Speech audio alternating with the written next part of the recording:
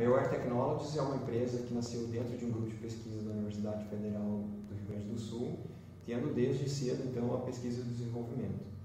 É, nós desenvolvemos soluções baseadas nos conceitos da internet das coisas, soluções simples e confiáveis de sensoriamento e comunicação sem fio, assim como aplicações e algoritmos para consumo dos dados gerados por meio dos, dos sensores, é, sempre visando a otimização de processos. E desde 2017 né, nós estabelecemos uma parceria com o projeto Futebol, onde colaboramos em duas frentes principais.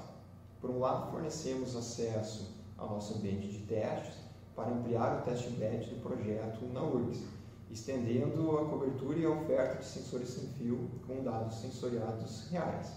As, infor as informações coletadas dos sensores no nosso ambiente de teste são encaminhados para um gateway. Esse gateway é controlado uh, por um experimentador que pode usar esses dados e testar diferentes aplicativos de IoT no ambiente real.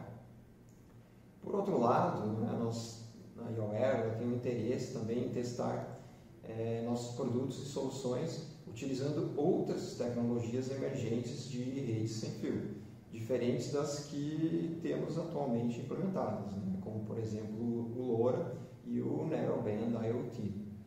É, sabendo né, que o test bed do futebol pode fornecer esse, esse ambiente para realizarmos alguns desses testes, é, nós entendemos que foi uma excelente oportunidade é, no auxílio aí da seleção de, de, novas tecnologias e também na agilidade de desenvolvimento de novos produtos e soluções dentro da, da.